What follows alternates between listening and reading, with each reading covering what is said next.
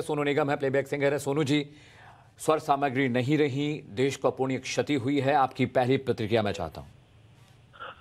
हमें उम्मीद थी कि वो शायद वापस आ जाएँगे, लेकिन जो जो हालात थे उसके हिसाब से तो काफ़ी हम तैयार थे मेंटली कि शायद वो चले जाएँगे। लेकिन ऐसे लोग होते हैं जो, ये लोग नहीं होते हैं, ये दैवीय शक्तियाँ होती हैं। ये मतलब जैसे अवतार होते हैं, अवतार। तो ये अवतार थी। अवतार जो होते हैं उनसे हम यही उम्मीद करते हैं कि वो हमेशा रहें उनकी कला तो रहती है हमेशा लेकिन हम उम्मीद भी करते हैं कि वो शारीरिक रूप से भी हमेशा रहें और ऐसा हो हो नहीं सकता संभव नहीं है ऐसा। तो इवेंचुअली ऐसा हो गया जो हो जो इवेंचुअली होना था तो हम बहुत मेरे लिए खुद के लिए बहुत व्यक्तिगत बहुत बड़ी क्षति है। उन्होंने जो मुझे प्यार दिया है जो मुझे मतलब मैं कुछ भी नहीं उनके आगे लेकिन उन्होंने जो बड़ी मेहरबानी उनकी मुझ पर बहुत एहसान है उनका कि उन्होंने मुझे इतना प्यार दिया इतनी जगह दी अपनी ज़िंदगी में। मुझे लग रहा है कि मैं दूसरी बार अपनी माँ को खोया है मैंने आज सुबह। सुनो जी वो आपको बहुत प्रेम करती थी ये हम सब जानते हैं। आपने कई गाने भी रिकॉर्ड किए लता दी के साथ। कोई ऐसी बात कोई ऐसी याद आप साझा कर पाए? मैं सब, मैं यही सबको बार बार मतलब याद मैंने अपने पिताजी से भी बात की और यही उनको बताया कि चार जनवरी को उनका आखिरी मैसेज मुझे आया था मेरे व्हाट्सएप पे। मैं कल ही रात को देख रहा था।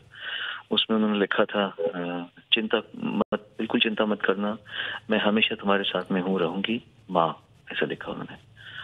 तो ये मेरे लिए बहुत बड़ा एक, बहुत बड़ा एक ज़िंदगी में एक एक, हमेशा मुझे एक प्यार भी रहेगा इस चीज़ का और एक दुख भी रहेगा कि आखिरी मैसेज भी उनका मुझे मुझे क्या है।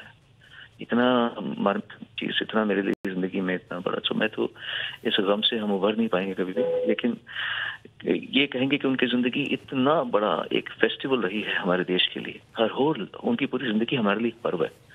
ऐसा इम्पैक्ट ऐसा लोग वैसे लोग पैदा नहीं होते।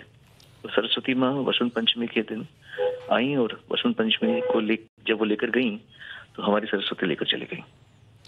सोनू जी लता जी के बारे में बहुत सारी चीज़ें हम लोग जानते हैं, बहुत सारी चीज़ें कहते हैं। भारत रत्न है, तीस हज़ार से ज़्यादा गाने गाए हैं। लेकिन एक गायक के रूप में आपको क्या लगता है कि उनके गानों में मिठास है? ये सारी बातें हम आम जो श्रोता हैं, वो उसको समझते हैं। लेकिन एक गायक के रूप में आप उनको किस तरह से परिभाषित करेंगे कि वो ऐसी क्या चीज़ है जो दुनिया के किसी गायक में नहीं है जो लता जी में थी? देखिए ये ये तो बहुत लंबा टॉपिक है। इसके लिए इतने इस समय हम ये बात नहीं करें तो बेहतर है क्योंकि ये तो एक असेसमेंट है और इसके बारे में तो मैं बहुत लंबी बातें कह सकता हूँ। मैं इतने कहूँगा कि ऐसे लोग पैदा होते नहीं है। ये ये जो लोग हैं ये ये एक मतलब मिलेनियम में एक बार पैदा होते हैं। और हमारा सौभाग्य है कि हाँ, लता जी हमारे देश की वासी हमारे देश की भारत रत्न है। रहे मतलब कहूँगा हमेशा रहेंगी। तो हमारा सौभाग्य है कि इतनी बड़ी आर्टिस्ट इतनी बड़ी फनकार इतनी बड़ी शख्सियत ऐसा दिमाग ऐसी सोच इतनी क्लास इतनी डिग्निटी इतना स्वाभिमान ये सब मिलता नहीं है लोगों को। एक ही शरीर में इतने क्वालिटीज तो बस हम उन, उनका उनका उनको नमन करते हैं। सुनो जी आखिरी सवाल मेरा आपसे है। आपने उनके साथ कई गाने रिकॉर्ड किए। आपका सबसे पसंदीदा गाना कौन सा है जो आपने लता जी के साथ रिकॉर्ड किया था? ऐसा नहीं बोल सकता। मेरे साथ मैं उनके साथ तो जो भी गाने गाए मैंने। मैं मैं आखिरी सिंगर हूँ इस जनरेशन का जिसने उनके साथ में काम भी किया है। बाकी को तो सौभाग्य भी नहीं मिला। मेरा सौभाग्य है। खामोशियाँ उंगना लगी मेरा पहला गाना था उनके साथ में। वीर जारा के दो क्यों हवा आज यूँ गा रही है दो पल रुका। मैंने काफ़ी काम करा। Thank you so much thank you Sonu ji बहुत बहुत शुक्रिया टाइम्स नाउ नौ भारत से बात करने के लिए।